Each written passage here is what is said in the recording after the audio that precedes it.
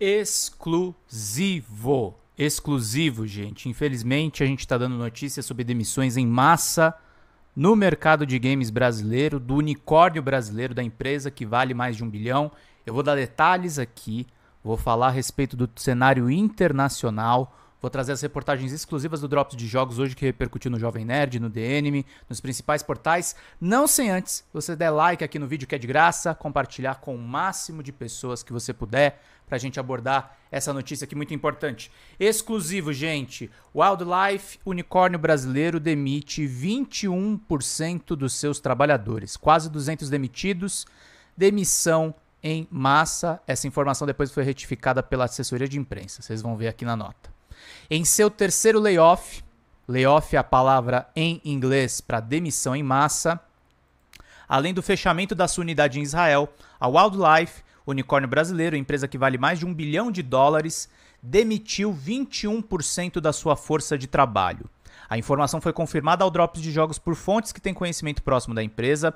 Os cortes ocorreram nesta quarta-feira, dia 28 de fevereiro de 2024. Nossa reportagem recebeu informações de profissionais cortados em seus LinkedIns, que, são, que é aquela rede social profissional que a galera de games usa pra caramba. Uh, a maioria dos cortes atingiu live games, incluindo artistas 3D. Eu vi uma ilustradora, inclusive, lá. O próprio, e o próprio marketing da empresa. São por volta de 170 demissões. Essa informação depois foi corrigida. O espaço está aberto para manifestação da empresa nesta reportagem. Enquanto os trabalhadores são cortados, o fundador tem mansão nos Estados Unidos. O Vitor Lazarte brasileiro que foi um dos fundadores da Wildlife Studios, unicórnio, empresa de que vale mais de um bilhão do setor de mobile games, pagou 25,4 milhões de dólares, 125 milhões de reais, por uma mansão no Vale do Silício, lá nos Estados Unidos. Essas informações são do site The Real Deal, que é um site americano, e do blog Capital do jornal Globo.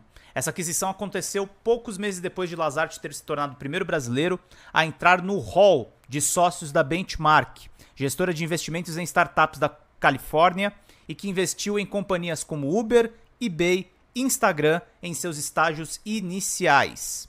Essa propriedade está localizada entre os números 37 e 53 da Euclid Avenue, em San Mateo, a poucos minutos de uma das sedes da Benchmark, que é essa empresa que investiu em Big Techs, tá, queridos? Uber e eBay. O imóvel fica no coração do Vale do Silício, distante menos de meia hora dos endereços do Google, do, do, do Facebook, que é a Meta, e da Apple, além da Universidade de Stanford. Lazarte comprou dois terrenos que somam 8 mil metros quadrados. Nele há 760 metros quadrados de área construída, incluindo uma mansão em arquitetura estilo mediterrâneo, uma casa de hóspedes e uma casa na piscina. A propriedade tem seis quartos e oito banheiros, de acordo com a plataforma imobiliária Zillow, lembra o jornal O Globo.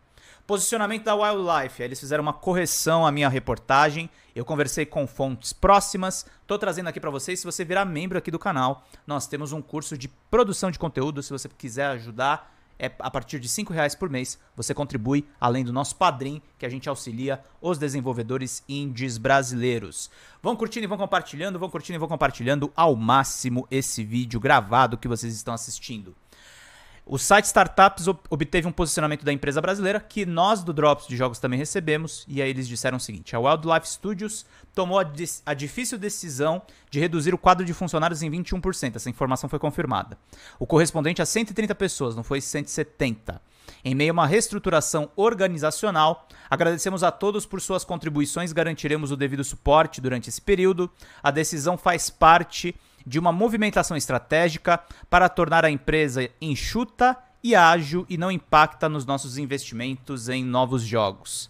Pois é, os games estão crescendo em inteligência artificial, os games estão crescendo em inovação e o trabalhador de games nunca tivemos tantos games excelentes, nunca tivemos uma indústria tão maravilhosa de games e o trabalhador de games foi tão maltratado. E quando você fala sobre sindicalização, esses milionários, eles surtam e eles fazem de tudo para não pagar impostos, muitos deles ligados ao mercado financeiro. É isso que está acontecendo, gente. Tem trabalhador perdendo o emprego por conta de gente rica desse tipo. Vamos continuar aqui acompanhando. Vamos entender um pouco mais a história desse fundador da Wildlife, que hoje ele não tem tanto a ver com a empresa, mas é um cara que está conectado, é um cara que se orgulha ainda e exibe aí as suas credenciais com a empresa. Mas vamos entender aqui. Brasileiro da Wildlife Studios de Mobile Games pagou 125 milhões de reais em mansão e a empresa demitiu aqui. Essa foi a terceira rodada de demissões, terceira ou quarta, tá, gente? Contando a, o fechamento da sede de Israel. E antes já tinham demitido e tem uma acusação séria que envolve a Wildlife. A empresa foi acusada de assédio em um documento interno, segundo uma reportagem internacional de 2021. Aliás, contar um bastidor interessante. Essa reportagem, eu quase fui um dos jornalistas freelancers que fez essa matéria. No final das, no, na verdade, eu servi de fonte. No final das contas, eu acabei não fazendo, mas essa matéria foi muito mais séria do que aconteceu. Vitor Lazarte, brasileiro que foi um dos fundadores da Wildlife Studios, uma empresa unicórnio, que vale mais de um bilhão, do setor de mobile games, pagou 25 milhões de dólares por uma mansão no Vale do Silício. A aquisição aconteceu poucos meses depois de Lazarte ter se tornado o primeiro brasileiro a entrar no hall de sócios da Benchmark, essa gestora de investimentos em startups que se envolveu com Uber e eBay. É, Lazarte comprou esses dois terrenos e a propriedade tem seis quartos e oito banheiros. O brasileiro é formado em engenharia pela USP e fundou a Wildlife Studios com seu irmão Arthur em 2010. No ano passado, a companhia foi avaliada em 3 bilhões de dólares, 2022, tendo como um dos seus investidores a própria benchmark do Lazarte. Desde antes da pandemia, Lazarte está baseado nos Estados Unidos, onde ele é investidor e conselheiro da Brex, a startup de cartão corporativo que foi fundada por dois brasileiros e se tornou uma das mais valiosas fintechs no Vale do Silício. Ou seja, o lance desse cara que tem mansão lá na Califórnia não é exatamente videogame. Videogame é um dos braços. Ele está de olho em fintech.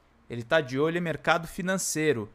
A gente precisa destrinchar e tem um outro elo aí envolvendo ele diretamente. Demissões da Wildlife no Brasil. Em junho de 2023, a Wildlife Studios confirmou o corte de 13% da sua equipe técnica em várias áreas e também anunciou mudanças na hierarquia, como a chegada de Peter Hill que assumiu como CEO do empreendimento. A desenvolvedora afirmou que a reestruturação organizacional, com a troca de, da direção executiva, cortes são realizados desde 2002 na, na, companhia e chegam até o número de 200 e 300 pessoas. Agora já deve estar se aproximando de 400 demissões. Gente, o sonho que existe no mercado de games você que é desenvolvedor de jogos, você que acompanha drops de jogos, eu tenho muitas pessoas que acompanham drops de jogos, que estão nas faculdades de desenvolvimento, que estão no seu primeiro emprego. Parem de ter a ilusão que o mercado de games é um parque de diversões. Parem. É um trabalho. É um trabalho como qualquer outro e que reproduz, infelizmente, péssimas práticas de mercado que essas big techs estão evidenciando. Parem de viver no fantástico mundo de Bob. Eu falava desse risco de demissões lá no ano passado, quando já, já teve muitas. 2024 está se esforçando para ser o pior ano das demissões, porque não tem como ter uma economia saudável depois de uma pandemia, que nós tivemos um presidente negacionista e aí morreram praticamente um milhão de pessoas diretamente de Covid ou de doenças relacionadas à Covid. Parem. Parem de ser iludidos por uma visão que é o marketing dos games. Não é nem a realidade da indústria. Esse vídeo é sobre a Wildlife, mas também é sobre você, que é desenvolvedor de jogos. Pare. Pare de se iludir só com os números. Tenha um bom emprego. E saiba que o, os caras mais ricos são os mais desgra desgraçados. Relatório interno apontou acusações de assédio. A empresa também enfrentou acusa acusações de assédio moral, incluindo discriminação por gênero e desigualdade de salários. É o que afirma uma reportagem assinada por Nick Ellis, John Peltz, Alex Gonzalez, no site internacional Rest of the World de 2021. Aliás, a reportagem ainda está no ar aqui, só para vocês saberem. E tá tudo aqui, ó. Exatamente. Como eu estou mostrando aí para vocês o que, que rolou por lá. Vão curtindo e vão compartilhando. Não esqueçam do like, da inscrição. Vamos bater rapidamente 4 mil inscritos, que é bastante importante aqui para o nosso canal. No mês de maio de 2020, o Departamento de Recursos Humanos da Wildlife Studios divulgou um relatório de 22 páginas cu cujo o site Rest of the World teve acesso e descreve diversas incidências de diferenças salariais para homens e mulheres que ocupam o mesmo ca cargo, além da discriminação de gênero. A companhia não desmentiu a existência desse documento, mas enviou uma seguinte nota ao Drops de Jogos. A Wildlife Studios esclarece que algumas informações fornecidas aos, pelo site Rest of the World não são verdadeiras Há cerca de dois anos, a empresa recebeu uma denúncia vinda de três funcionárias que disseram ter conversado com outros colaboradores para repreparar um documento que, que foi encaminhado para a área responsável. Tão logo to tomamos conhecimento sobre os fatos descritos do material, então é verdade, né, queridos? Iniciamos um processo interno para sua apuração, que resultou na demissão de dois colaboradores e medidas disciplinares aplicadas a um terceiro envolvido na, nas denúncias. A diversidade é um tema de extrema importância para a Wildlife e a empresa trabalha para criar um ambiente seguro e inclusivo. Uhum, com várias demissões anuais. Como parte das nossas iniciativas, temos um canal dedicado a denunciar as violações do nosso código de conduta e todas as queixas recebidas são investigadas pelo Departamento de Compliance, sendo que, após um rigoroso processo de apuração de fatos, tomamos as medidas cabíveis para cada situação. Ao constatar que houve um problema nessa área, a empresa também investiu no fortalecimento de lideranças femininas, sei, com demissões em massa, que hoje é composta majoritariamente por mulheres, desde a gerente de área, passando pela diretora, diretora sênior do departamento, que se reporta diretamente ao CEO. Além disso, a taxa de contratação de mulheres nessa área é bem acima da média da indústria, que é baixa mesmo, tá, gente? Mas de 70% em média, pelo menos segundo as pesquisas. Saiu a pesquisa hoje da Abra Games atrasada, que diz é, que a maioria são homens mesmo trabalhadores. Somos gratos a todas as pessoas que aprontam problemas na companhia. Uhum. Que, e sabemos que a diversidade é um tema presente na indústria de tecnologia e especialmente na indústria de games. Por isso, a Wildlife Studios investe em garantir um ambiente inclusivo por meio de diversas iniciativas como grupos de representação de minorias, treinamentos e sessões de diálogo com os principais líderes de diversidade do Brasil. A Wildlife monitora o progresso na carreira de diferentes grupos e tem orgulho de dizer que homens e mulheres são promovidos na mesma proporção. E também trouxemos para o nosso time um colaborador especialista em pagamento justo e autor do livro Fair Play: How to Get a Raise, Close the Wage Gap and Build a Stronger Business, com o objetivo de continuar trabalhando por um ambiente de equidade. Quem que é o autor desse livro? Vamos ver aqui só para saber, porque isso aqui é, eu, eu, fiquei interessado aí em saber qual que é o autor desse livro que o cara trabalhou aí na Wildlife Studios. É o. Vamos ver aqui. O livro tá na Amazon. É o tal do David Bookmaster, segundo é, a própria Wildlife. Vamos lá, queridos. Olha só, outra curiosidade bizarra sobre a Wildlife, agora falando um pouco sobre política, porque aqui no Drops de Jogos a gente não tem medo de misturar política com videogames, tá, gente? Pro terror aí das pessoas que acompanham é, e são a favor aí, ai, ah, não pode meter política nos meus joguinhos. Aqui a gente fala de mundo real, Aqui a gente fala sobre as, o que, que são essas pessoas que estão na indústria e qual que é a mentalidade que está escondida por trás dessas empresas. Foi uma informação que assopraram para mim no Twitter e eu falei, eu tenho que fazer essa nota aqui para a gente ter esse registro. A conexão política do fundador da Wildlife, que tem uma mansão. Ele é ligado a um político próximo ao Jair Messias Bolsonaro, o ex-presidente da República, que quem tentou dar um golpe de Estado. Vamos ver aqui quem o Vitor Lazarte tem ligação. Drops de Jogos noticiou em primeira mão que a Wildlife, o unicórnio brasileiro, empresa que vale mais de um bilhão, demitiu 21% da sua força de trabalho. A informação foi confirmada pela empresa após a nossa reportagem, mas há mais uma informação que está passando batido. Vitor Lazarte, o brasileiro que foi um dos fundadores da Wildlife Studios, pagou 25 milhões de dólares por uma mansão no Vale do Silício nos Estados Unidos. Hoje Lazarte está mais distante da empresa de games e é sócio da Benchmark, gestora de investimentos de startups da Califórnia e que investiu em companhias como Uber, eBay e Instagram em seus estágios iniciais. Além da sua carreira como empreendedor, Lazarte é casado com a médica Duda Nogueira. Olha lá, Duda. Quem é a Eduarda Nogueira? Quem é Eduarda Nogueira? Filha do senador, olha lá, galera. Ciro Nogueira, presidente nacional dos progressistas, o PP, o partido com mais acusações de corrupção no chamado escândalo do mensalão. Para quem não lembra, parlamentar do Piauí, Ciro Nogueira foi ministro-chefe da Casa Civil do governo de Jair Messias Bolsonaro. Com informações da Meio Norte, o veículo Meio Norte, portal Meio Norte, e do Brasil Journal, que cobre o mercado financeiro. Em tempo, a reportagem sobre a demissão em massa na Wildlife Studios do Drops de Jogos repercutiu no DM, The Game Era e Nerd Bunker, do Jovem Nerd. Agradecemos pelas menções à nossa reportagem, meus queridos, minhas queridas. Acabei de dar um soco aqui no microfone, que eu não sei se isso vai ferrar para a gravação. Mas é. É isso, né, gente? Essa é a demissão em massa que está acontecendo no mercado brasileiro. O mercado brasileiro foi afetado por demissões na Riot, o mercado brasileiro foi afetado por demissões na Epic, o mercado brasileiro é, é altamente internacionalizado. E eu repito o que eu falei no meio do vídeo. Se você está no mercado de games achando que você vai ficar automaticamente milionário, caia na real. É um mercado de trabalho como qualquer outro, é um mercado de trabalho que tem vários problemas, é um mercado de trabalho que tem pessoas que não têm mentalidade, não têm empatia pelo trabalhador. Caiam na real. Tenham alguém que diga para vocês, caiam na real. Inclusive as pessoas quase não dão essa notícia sobre as emissões da Wildlife porque fica com todo mundo com medo de se queimar no mercado. E eu tô aqui tomando uma responsabilidade enorme de dimensionar o mercado do tamanho real, porque infelizmente os agentes do próprio mercado ficam vendendo para vocês fumaça ensacada. Ficam vendendo para vocês que basta reduzir os impostos. Não basta reduzir os impostos. Bolsonaro fez quatro reduções de impostos. Com a inflação na casa do caramba e com o câmbio também altíssimo. Não adiantou nada. O mercado de games precisa de Estado, precisa de investimento.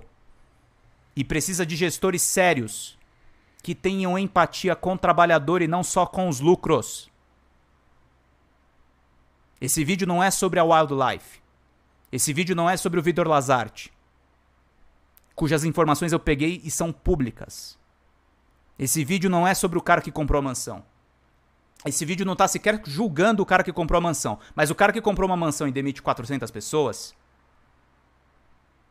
ele não tem a menor noção do impacto dessas decisões. O mercado de game já tem uma rotatividade alta antes dessa onda de demissões. Ele já tem. Ele tem uma alta rotatividade, ele tem uma pressão para você agradar só investidores. E isso vai acabar suicidando o mercado se ele não tiver uma mentalidade diferente dessa. Não vai haver uma inclusão real de mulheres e pessoas pretas com uma mentalidade dessa. Esse mercado, do jeito que ele está, vai favorecer homens brancos. E eu nem sou propriamente branco, meu pai é preto. Mas homens mais ou menos do meu tom de pele. Privilegiados, ricos que podem se aventurar nesse mercado e não a pessoa que sai da favela. E não a pessoa que é discriminada por ser mulher. E não a pessoa que é, é, é, é discriminada por ser LGBTQIAP+. Essas pessoas não terão espaço. O mercado está novamente se concentrando depois de uma onda de indies que nós tivemos. E eu finalizo com essa notícia que é internacional para provar, porque depois de 900 demissões na Sony, a Electronic Arts agora faz a sua demissão em massa. Electronic Arts do FC 24, do FIFA, do jogo mais vendido no Brasil. Essa empresa está demitindo 670 trabalhadores. 670 trabalhadores. Mais uma demissão em massa que vai afetar o Brasil, mais uma demissão em massa que vai afetar o mundo. Nós precisamos refazer o mercado de games. Ele precisa ser construído em outras bases.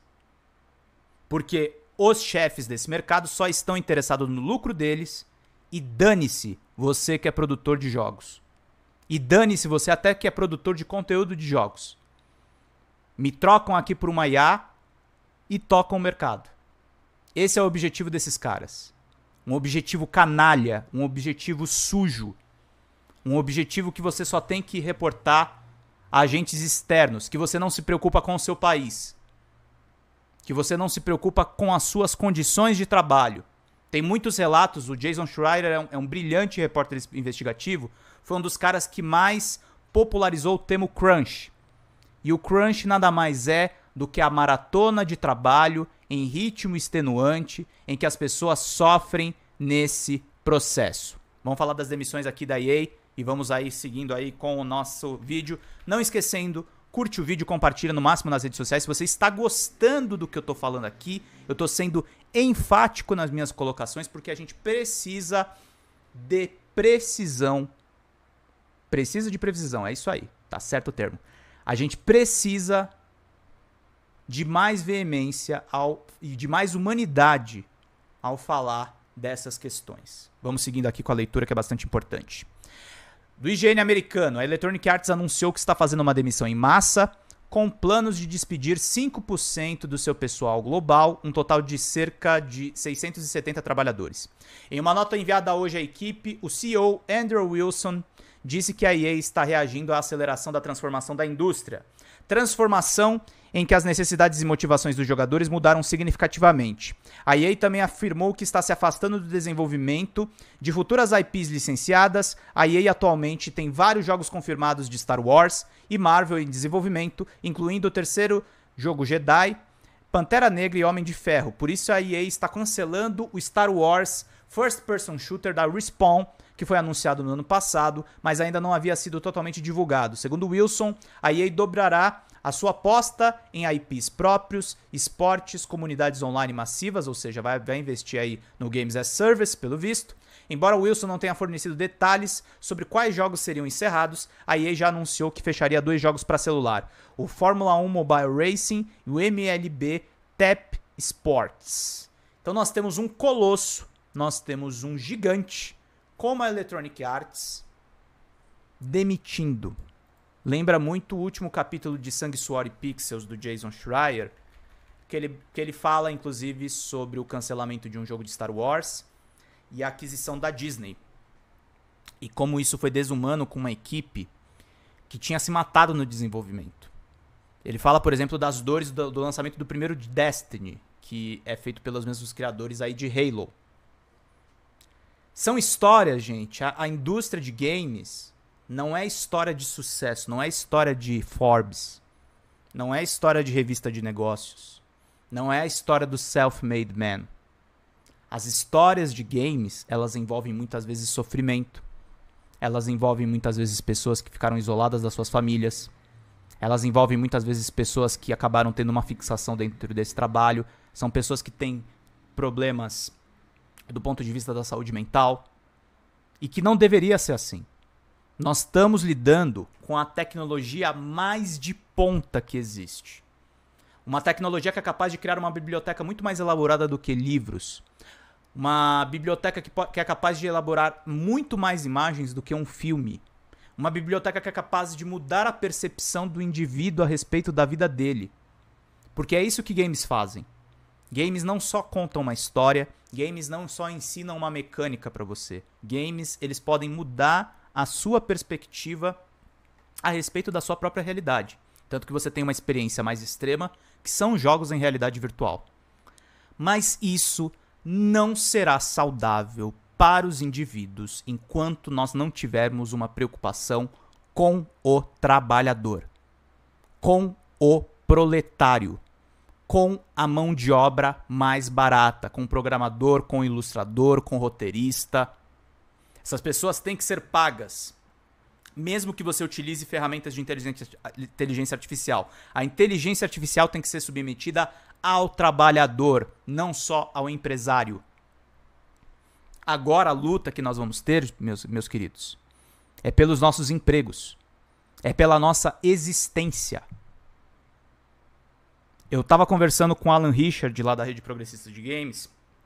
Talvez nós estejamos vendo nessa geração um crash da indústria. E é um crash que envolve a produção de jogos. Nunca produzimos jogos tão maravilhosos, Death Stranding é uma, é uma experiência maravilhosa. Nós temos jogos indies maravilhosos, como por exemplo Limbo. Nós temos, por exemplo, vários jogos, Journey. Nós temos jogos brasileiros maravilhosos como Celeste. Nós temos jogos que são capazes de envolver as pessoas. E enquanto fazemos jogos tão lindos, nós desgraçamos a cabeça da pessoa que está criando aquilo para a pessoa que está consumindo. Nós muitas vezes olhamos só para os números e não para o trabalhador, e não para a pessoa que é demitida, e não para a pessoa que muitas vezes vai acabar saindo dessa área porque não tem o emprego que ela precisa. É dramático isso que a gente está narrando aqui, gente. Não é uma implicância com uma empresa, não é uma implicância com, com um empresário. Inclusive as pessoas da Wildlife, as que foram demitidas e as que permaneceram, eu sou solidário a todos vocês. Infelizmente eu tive que dar essa notícia hoje, mas trabalhador tem que ajudar trabalhador. E nós denunciamos, inclusive, para que vocês sejam tratados com humanidade na empresa de vocês. Hoje eu vi uma notícia no Intercept Brasil muito triste de um funcionário que, infelizmente, ele tirou a própria vida no Mercado Livre. Olha, eu perdendo mais um patrocinador. Porque ele não foi contratado. E essa é a realidade, gente. Eu já escrevi livros, inclusive, sobre empresas de aplicativo. E hoje eu tenho uma visão muito crítica sobre isso que a gente está acontecendo. A gente deveria ter regularizado isso desde o começo. Essas empresas têm que pagar impostos. Essas empresas têm que ser taxadas. Essas empresas têm que dar contrapartidas ao trabalhador se nós não regularmos as redes sociais, se nós não regularmos o setor tecnológico, o setor que mexe com as informações da nossa vida, nós enfre enfrentaremos esse problema e problemas cada vez mais piores. Nós enfrentaremos esses layoffs e demissões cada vez ma maiores. Nós vamos ver máquinas fazendo atividades a nível industrial e nós não vamos entender nem direito o que a gente está fazendo no meio desse processo. A gente não vai entender nem direito qual é o propósito disso. A inteligência artificial, por exemplo, precisa ser regularizada. Isso é fundamental que se desenvolva como uma mentalidade entre os empreendedores, entre os empregados, entre todo mundo que encara esse mercado de tecnologia. Esse não é um simples vídeo para dar uma notícia para vocês. Cada vez mais eu vou fazer vídeos assim para a gente refletir sobre o mercado. É, quero saber o que você achou a respeito das minhas falas. Comenta aqui embaixo se você assistiu o vídeo até o final. Diga se você concorda, se você discorda. Pode me xingar, tá liberado. Só não pode cair numa baixaria absurda, senão eu vou acabar apagando o comentário. Mas fale o que você acha. Fale o que você acha que eu quero conversar com você. Fale o que você acha que eu quero convencer você ao, ao, ao contrário de algumas coisas. E vamos debater, vamos abordar. O Drops de Jogos é um site declaradamente progressista, é um site que defende a inclusão de minorias, é um site, portanto, de esquerda. É um site que não tem medo de dizer que é de esquerda, mesmo cobrindo games. No entanto, eu quero conversar com você que discorda de mim, eu quero conversar com você que é de extrema direita. Você acha certo um cara que é parente de um ex-ministro do Bolsonaro comprar uma mansão enquanto 400 profissionais são demitidos? Fala para mim. E se fosse o Lula no lugar? Se não fosse o ministro do Bolsonaro, fosse o ministro do Lula. É um absurdo isso que está acontecendo. É um absurdo o que a gente está presenciando.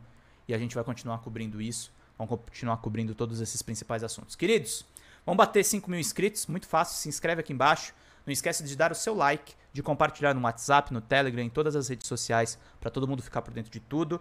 E também é, Vira membro do canal. A gente tem um curso de produção de conteúdo que eu vou falar um pouco das agruras que eu passei fazendo meu canal. E eu conto com vocês para a gente fazer bem é, esse trabalho de disseminar informação de games por um viés progressista, por um viés arejado e também com jornalismo investigativo, com jornalismo de qualidade, com jornalismo que não tem amarras, com jornalismo que diz a real do que está acontecendo. Fizemos duas reportagens importantes a respeito da Abra Games e a gente não vai parar de apurar todos os atores do Senado, cenário. A gente quer que isso mude, a gente quer que o Brasil seja um celeiro de desenvolvedores de jogos, uma verdadeira indústria, não meramente um prestador de serviços, de, é, um terceirizado para a grande indústria. A gente quer ser produtor, a gente quer fazer propriedade intelectual, seja no audiovisual, seja nos outros ramos da cultura e da tecnologia, porque games são cultura.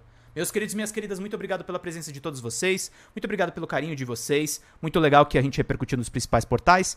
E é isso, meus queridos e minhas queridas. Vida longa e próspera, gente. Cuidem-se, cuidem dos seus. Até mais. Tchau, tchau.